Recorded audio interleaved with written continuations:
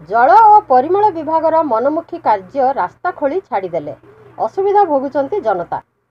ସମ୍ବଲପୁର ଜିଲ୍ଲା ଜମନକିରା ବ୍ଲକ ସଦର ମହକୁମା ପଞ୍ଚାୟତଠାରେ ପାଣି ପାଇଁ ଜନସାଧାରଣଙ୍କୁ ନାହିଁ ନଥିବା ଅସୁବିଧାର ସମ୍ମୁଖୀନ ହେବାକୁ ପଡ଼ୁଛି। ଜମନକିରା ସଦର ମହକୁମା ଜମନକିରା ଅଞ୍ଚଳ ରାଧାକୃଷ୍ଣପଡ଼ା ଜଗନ୍ନାଥପଡ଼ା ଦଶଘରିଆ ଗାନ୍ଧୀପଡ଼ା ବଲବସପୁର ହନୁମାନପଡ଼ା ଭୂଇଁଆପଡ଼ା କଦଳୀମୁଣ୍ଡା ମାଳିପଡ଼ା ବାବେଝୁରିପଡ଼ା ଜନସାଧାରଣଙ୍କ ପାଇଁ ମୁଣ୍ଡ ବ୍ୟଥା ପାଲିଟିଛି ପାଣି ବ୍ୟବସ୍ଥା। ଜମନକିରା କଦଳୀମୁଣ୍ଡାଠାରେ ଏକଚାଳିଶ ଲକ୍ଷ ବିନିମୟରେ ୱାଟର ଓଭରହେଡ୍ ପାଣି ଟାଙ୍କି ତିଆରି କରାଯାଇଛି। ହେଲେ ଆର୍ଡବ୍ଲ୍ୟୁଏସ୍ଏସ୍ କର୍ମଚାରୀ ଓ ଯନ୍ତ୍ରୀଙ୍କ ଅବହେଳା ଯୋଗୁଁ ଜମନକିରା ଜନସାଧାରଣ ପାଣି ପାଇଁ ହଇରାଣ ହେଉଥିବା ଦେଖିବାକୁ ମିଳୁଛି। ସୂଚନା ଯେ ଜମନକିରା ଅଞ୍ଚଳର ବିଭିନ୍ନ ପଡ଼ାରେ ବିଗତ କିଛି ଦିନ ହେବ ପାଣି ପହଞ୍ଚି ପାରୁନଥିଲା।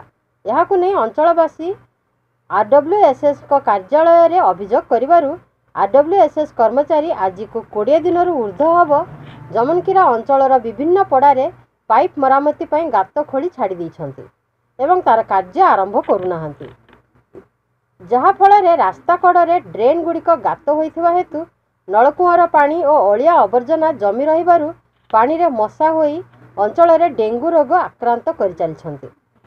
ପୁଣି ଡ୍ରେନ୍ ଗୁଡ଼ିକ ରାସ୍ତା କଡ଼ ହୋଇଥିବାରୁ ବିଭିନ୍ନ ସମୟରେ ଯିବା ଆସିବା କରୁଥିବା ଯାନବାହନ ଗୁଡ଼ିକ ଦୁର୍ଘଟଣାଗ୍ରସ୍ତ ହେଉଥିବା ଦେଖିବାକୁ ମିଳୁଛି। ବିଶେଷ କି ଜମନକିରା ସଦର ମହକୁମା ବସ୍ଷ୍ଟାଣ୍ଡରୁ କୁଚିଣ୍ଡା ଆର୍ଡି ରାସ୍ତା ଅଧିକ ଜନଗହଳି ରାସ୍ତା ହୋଇଥିବାରୁ ଏଠି ଅନେକ ସମୟରେ ଅନେକ ଗାଡ଼ି ଡ୍ରେନ୍ ଭିତରେ ପଶି ଯାଉଥିବା ଅଭିଯୋଗ ହେଉଛି। ଏହି ରାସ୍ତାର ସାତଟି ସ୍ଥାନରେ ଖୋଳା ଦିଆଯାଇଛି ଯାହାଫଳରେ ଏହି ରାସ୍ତାର ଅବସ୍ଥା ଅତି ଶୋଚନୀୟ ହୋଇପଡ଼ିଛି। ଯଦି ଏହି ରାସ୍ତାକୁ ଠିକ୍ ଭାବେ ମରାମତି ନ କଲେ ପ୍ରଥମ ବର୍ଷାରେ ରାସ୍ତା ଖରାପ ହେବା ସମ୍ଭାବନା ଅଛି ବୋଲି ବୁଦ୍ଧିଜୀବୀମାନେ ପ୍ରକାଶ କରିଛନ୍ତି।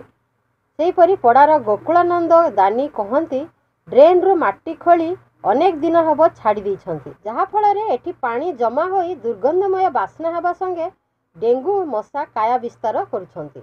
ଡ୍ରେନ୍ର ଶୀଘ୍ର ମରାମତି ନିମନ୍ତେ ଆମେ ବ୍ଲକ କାର୍ଯ୍ୟାଳୟକୁ ଯାଇ ଆର୍ଡବ୍ଲ୍ୟୁଏସ୍ଏସ୍ର ଯନ୍ତ୍ରୀଙ୍କୁ ଏହାର ସୂଚନା ଦେବା ପରେ ମଧ୍ୟ ଆର୍ଡବ୍ଲ୍ୟୁଏସ୍ଏସ୍ କର୍ମଚାରୀ ଏହାକୁ ଅଣଦେଖା କରୁଥିବା ଅଭିଯୋଗ କରିଛନ୍ତି।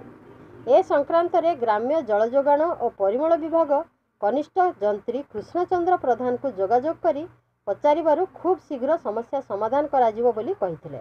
ମୁଁ ଗୋକୁଳାନନ୍ଦ ଦାନୀ ଆମର ବିକାଶ ପରିଷଦର ସଭାପତି ଜମନକେରା ବ୍ଲକର ଆଉ ସିନିୟର ସିଟିଜେନ୍ର ସଭାପତି ଜମନକେରା ବ୍ଲକର। ଆଜ୍ଞା ଆମର ଜମେନକା ଅଞ୍ଚଳରେ ଏଇଟା ଗ୍ରାମ୍ୟ ଜଳ ଯୋଗାଣ ପରିବହନ ପକ୍ଷରୁ ରାସ୍ତା ଗୁଡ଼ିକ ଡ୍ରେନ୍ ଗୁଡ଼ିକ ଖୋଲା ଦିଆହେଇଛେ ହଁ। ସେ ସେ ବାବଦରେ ନେଇକିରି ଆପଣ କାଣା କରିବେ? ଏଇଟା ଅନେକ ଦିନ ଧରିକିରି ରହିଛେ ଯେ ଲୋକମାନଙ୍କର ଭିତରେ ଅସନ୍ତୋଷ ଦେଖା ଦେଉଛି।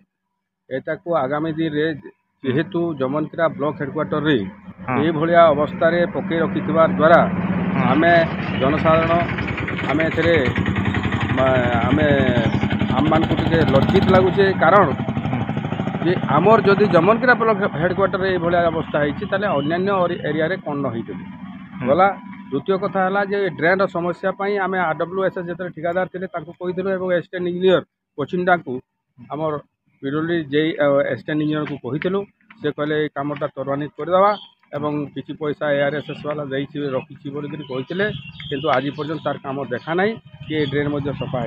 କାମ ଦେଖା ନାହିଁ କି ଏ ଡ୍ରେନ୍ ମଧ୍ୟ ସଫା ହେଇନି ଏଇଟା ଆଜ୍ଞା ଆପଣଙ୍କର ଅଭିଯୋଗ କରବା ଏଇଟା ତ- ତ- କେତେ ଦିନ ହେଇଗଲାନ ଏଇଟା ଅଭିଯୋଗ କରିବା ପ୍ରାୟ ପ୍ରାୟ ଆଠ ମାସ ଖଣ୍ଡେ ହେଇଗଲାଣି। ହେଲେ ଏଇଟା ଉପରେ ନେଇକିରି ଆପଣ କାଣା ଆଉ ଏଇଟା ପଦକ୍ଷେପ ନେବା ଲାଗି ଯଦି ଚାହୁଁଛନ୍ ଏହାର ବିହିତ ପଦକ୍ଷେପ ଯଦି ନ ନିଆଯାଉଛି ହଁ। ଏଟାର ଦୃଢ଼ କାର୍ଯ୍ୟାନୁଷ୍ଠାନ ନେବା ନିମନ୍ତେ ଆମେ ରାଜରାସ୍ତାକୁ ଓହ୍ଲାଇବୁ ବୋଲିକରି ଆମର ଏ ଅଞ୍ଚଳବାସୀ ଦୃଢ଼ ଦାବି କରୁଛୁ ଜମନକିରା ରିପୋର୍ଟର ଲିପନ ନାୟକଙ୍କ ରିପୋର୍ଟ ଏକେଏନ୍ ନ୍ୟୁଜ୍।